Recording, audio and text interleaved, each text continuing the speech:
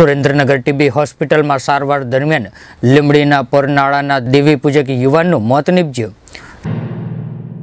Surendranagar TB હોસ્પિટલમાં સારવાર દરમિયાન લીમડીના પરનાળાના દેવી પૂજક યુવકનું મોત નીપજ્યું. સુરેન્દ્રનગર જિલ્લાના ઓળખ અને કડુ ગામ વચ્ચે અચાનક પિકઅપ વાનમાં શોર્ટ સર્કિટ થતાં આગ ભભૂકી ઉઠી હતી. વાનમાં લાગેલી આગના પગલે પિકઅપ વાનમાં સવાર બે યુવાનોને ઈજા પહોંચી. સુરેન્દ્રનગર શહેરમાં અને જિલ્લામાં અચાનક વાહનોમાં આગ લાગવાના બનાવોની સંખ્યામાં નોંધપાત્ર રીતે વધારો થવા પામ્યો છે.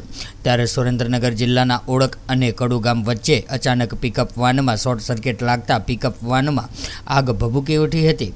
આ આગને પગલે હાઈવે પર અફરાતફરીનો માહોલ પણ સર્જાયો હતો. તેમજ પિકઅપ વાનમાં સવાર બે વ્યક્તિઓને ગંભીર ઈજાઓ પહોંચતા ઈજાગ્રસ્ત યુવાનોને સારવાર અર્થે સિવિલ હોસ્પિટલ ખાતે ખસેડવામાં આવ્યા હતા. મળતી માહિતી મુજબ સુરેન્દ્રનગર જિલ્લાના ઓળખ અને કડુ વચ્ચે માલવાહન પિકઅપ વાનમાં શોર્ટ સર્કિટ લાગતા પિકઅપ વાનમાં વાહન ચાલકે સ્ટીરિંગ પરનો કાબુ ગુમાવતા વાન હાઈવે પરથી પલટી ખાઈ ગઈને ગટરમાં પટકાઈ હતી અને પિકઅપ વાનમાં અચાનક આગ લાગવાની ઘટના સામે આવી હતી. ત્યારે આગને પગલે પિકઅપ વાનમાં સવાર બે વ્યક્તિઓને ઈજા પહોંચી હતી.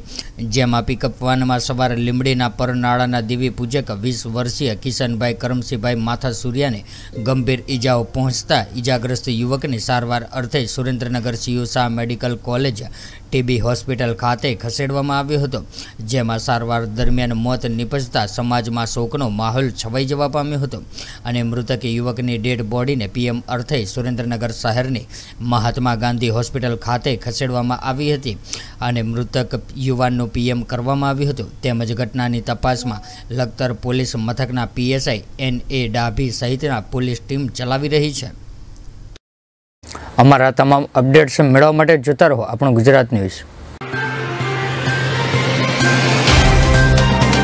तो व्हाट्सएप ट्विटर फेसबुक इंस्टा जहाँ भी आपका अकाउंट है इसे शेयर बटन के द्वारा वहाँ पर शेयर करें